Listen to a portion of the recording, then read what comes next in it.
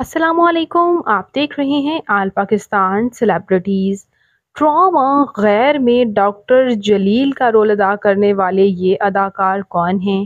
ان کی فیملی میں کون کون ہیں؟ ان کے بارے میں مکمل ڈیٹیلز بایوگرافی جاننے والے ہیں آج کی اس ویڈیو میں.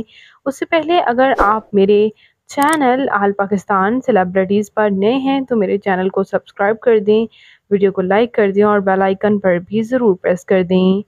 ٹراما غیر میں ڈاکٹر جلیل کا رول ادا کرنے والے یہ اداکار اجاز اسلم ہیں جو کہ پاکستان کے شہر کراچی سے تعلق رکھتے ہیں۔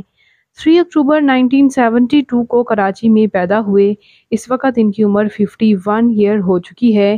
Ijaz Aslam as a actor as a model اور ایز اے فیشن ڈیزائنر کے ساتھ ساتھ ایز اے انٹرپنورر بھی انہیں کافی پسند کیا جا رہا ہے۔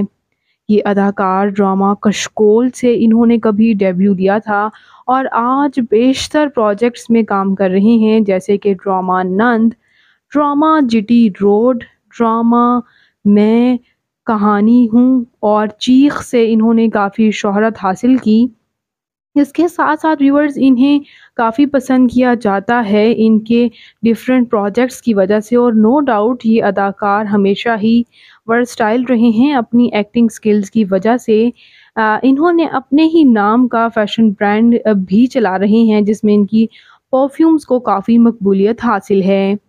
بات کرتے ہیں یہاں ان کی میریٹل سٹیٹس کے بارے میں، تو یہ میرڈ ہیں، ان کی شادی سبین اجاز کے ساتھ ہوئی۔ آپ ان کی ان کی اہلیہ کے ساتھ بھی آپ تصاویر دیکھ سکتے ہیں۔ ان کی اہلیہ شوبز سے وابستہ تو نہیں، لیکن انہیں کافی سپورٹ کرتی ہیں۔ ان کا یہ ینگ بیٹا اور بیٹی کے ساتھ بھی آپ تصاویر دیکھ سکتے ہیں۔ ان کی ایک چھوٹی بیٹی جبکہ ان کی ایک بڑی بیٹی بھی ہیں۔ اور آپ یہ ان کی کچھ تصاویر دیکھ سکتے ہیں۔ ان کے ان کی فیملی جو ہے، کوئی ان کے بچوں میں بھی ابھی تک شوبز سے وابستہ نہیں ہے۔ لیکن سب انہیں کافی سپورٹ کرتے ہیں، بات کرتے ہیں ان کی فزیکل اپیرنس کے بارے میں۔ تو ان کی ہائٹ پانچ فٹ نو انچ، ان کا ہیئر اور آئی کلر براؤن جبکہ ان کی کمپلیکشن فیئر ہے، ان کا فیوریٹ کلر بلیک ان کی فیوریٹ ڈیسٹینیشن پاکستان، ان کی ہابی ٹریول کرنا اور سنگنگ کرنا ہے۔ ڈرامہ غیر میں ڈاکٹر جلیل کا رول ادا کرنے والے یہ اداکار آپ کو کیسے لگتے ہیں اجاز اسلم؟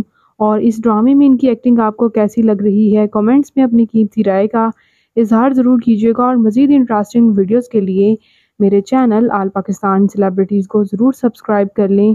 اللہ نگہبان۔